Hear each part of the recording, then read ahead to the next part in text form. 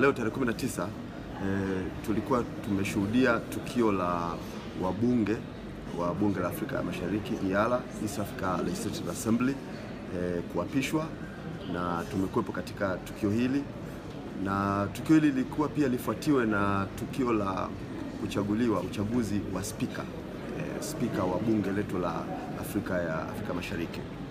na toka asubuhi tumekuwepo hapa na tunafuatilia sisi viongozi wa chama pamoja na wabunge wetu. E, wote kwa pamoja tumekuwa tunafuatilia mwenendo mzima wa mchakato huu kama jinsi ambavyo sheria ya uchaguzi namba nane inavyoelekeza kwa maana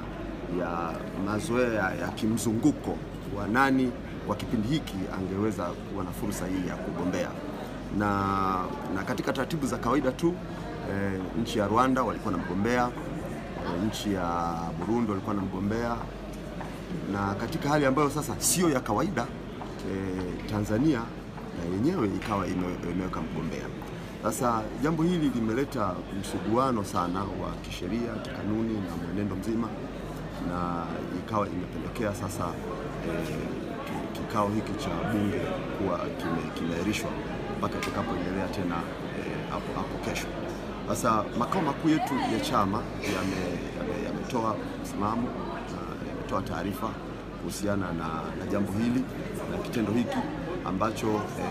kwetu kimekuwa cha kushangaza kidogo na hata partner states wengine kimekuwa cha kushangaza kidogo kwa sababu eh, haikuwa imetarajiwa hivyo. Kitamaduni za mzunguko kama sheria namba nane ya chaguzi za spika kwenye bunge letu hili inaeleza eh, na iko wazi kabisa kwa hivyo eh, kama chama na kama taarifa yetu ilivyotolewa na uongozi wa chama chetu makao makuu eh, tumesikitishwa sana na jambo hili na ni vyema ikaeleweka kwamba eh, kama Watanzania hatuna budi kusimama na taifa letu, lakini tunasimama katika misingi ambayo ni ya kisheria, ile rule of law, misingi ambayo iko wazi tu kiutaratibu, ambao ni proper. Kwa hivyo kwenye jambo hili tungetaka sana pa, pa, pawepo na busara na misingi ya kuzingatia sheria kwamba sheria inatutaka sheria inataka kipindi hiki